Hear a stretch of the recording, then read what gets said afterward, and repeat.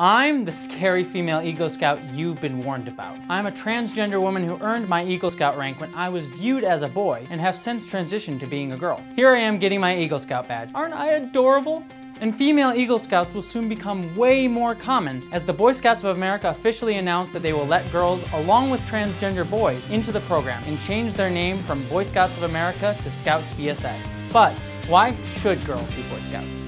I've seen many of my fellow scouts take issue with letting girls into the program, like Will Witt from PragerU, who decided to make this video. For 105 years, the Boy Scouts have stood with their values and stood with their morals, but are now caving to the radical, politically correct leftist agenda. As an Eagle Scout myself, I find this to be a terrible change that the Boy Scouts are making. Clearly, my fellow Eagle Scout has opinions, so I want to open up a thoughtful response to his concerns. What's his first criticism? When you add girls into the equation of Boy Scouts, you are taking away everything that the program is about. Okay, so what is the program about? The Boy Scouts was originally created by Lieutenant General Robert Stephenson Smith Baden-Powell. That's a mouthful. We Scouts just call him Sir Lord Baden-Powell. Baden-Powell fought in the Second Boer War. During this time, he found many troops were dying simply because they didn't know basic survival skills. He wrote a military book as a handbook on tying knots, building fires, and other basic skills. When he returned to jolly old England, he found tons of young boys loved his books. He wrote Scouting for Boys, a version of the books tailored for young young boys, and he later went on to found the Boy Scouts. The first goal of scouting was to provide basic skills to people to prevent them from dying in the military. It wasn't necessarily boy specific, but as boys were the only ones allowed to be in and, you know, die in the military, of course they were the primary audience. But Will says, Being a part of the Boy Scouts is about developing yourself from a boy into a man through other male role models that are there within the troop. According to the official Scouts website, the BSA's goal is to, quote, train youth in responsible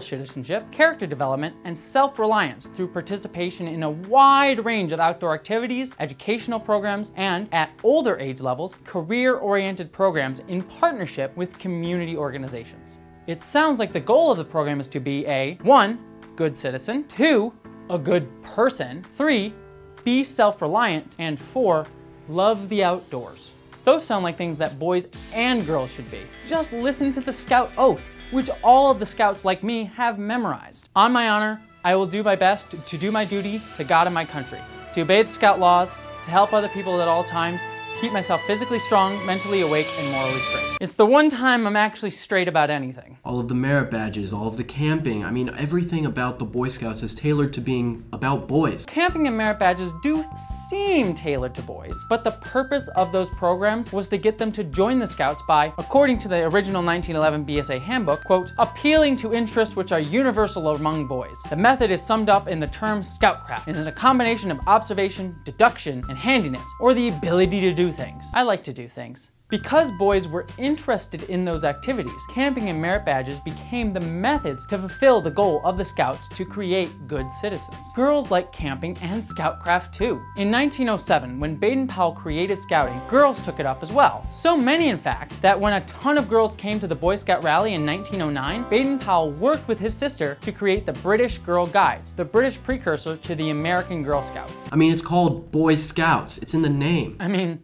not anymore. The name's changed, so uh, not a valid argument. Boys cannot be boys when girls are around. I'm sorry, I don't know if that's sexist or whatever, but it's just true. When you have boys who are surrounded by girls, they are more worried about what the girls are thinking about them than actually male activities and becoming a man. Huh, maybe that is sexist. Hmm. At any rate, there aren't any conclusive studies that prove that separating boys and girls helps them perform better. In fact, according to Dr. Elise Eliot, an associate professor of neuroscience, quote, most data shows that the more boys and girls have an opportunity to interact and have the same opportunities in general, the more similar they end up. Learning together gives everyone a level, unbiased as possible playing field. But hey, let's say you're right. Boys just can't be boys with girls around. And why is that? Is it because girls and boys are so separated in so many aspects, so girls become this mythical figure in a boy's mind that they can't relate to and view as an other because they don't interact with them often? What if there was a program where boys and girls could interact together, like uh, doing activities outdoors, so they could see each other as comrades, pals, and equals, instead of distractions, threats, or objects? I wonder where a program like that could come from.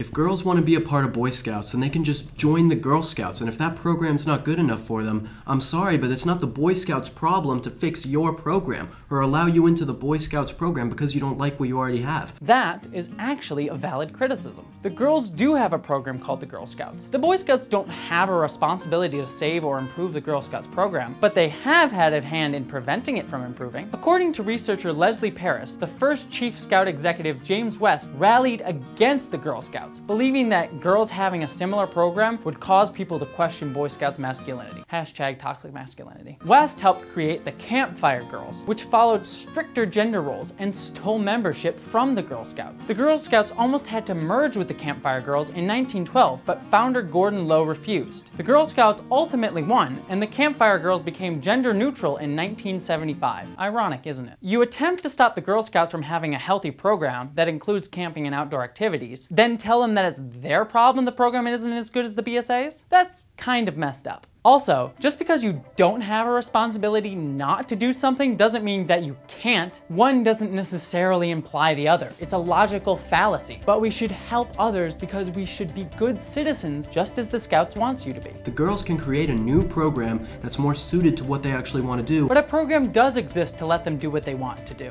It's called Scouts BSA. Why not just join that one instead of creating a whole new program that will take years to fund and have the power and impact of the Scouts BSA if it ever will. They don't have to hijack us. Hijacking implies taking control. No one wants to usurp control of the Scouts. They just want to join in. I'm sure that the Girl Scouts aren't about to let boys in. You're very right. The Girl Scouts have said as much. Just because one group does something that isn't right doesn't mean that the other one shouldn't. Two wrongs don't make a right. It's just crazy to think that something that has been so consistent in America for the last hundred years is now being torn apart by the progressive left. That statement can apply to anything that's been around in America for 100 years, like slavery, or women not being allowed to vote, or having cocaine and soda. We got rid of that last one. Damn you, progressive left! On a personal note, the Scouts have meant so much to me. I remember so many nights sitting around the campfire with my friends, surrounded by the darkness and awe-inspiring beauty of nature. The Scouts helped mold me into the person that I am today, and I'm thankful for it because I wouldn't have been welcome in the Boy Scouts. Shouldn't everyone, boy, girl, or anyone else, have the chance to grow to be physically strong, mentally awake, and morally straight? Scouts Honor, I really want to hear what you have to say, so comment below to tell us what you think.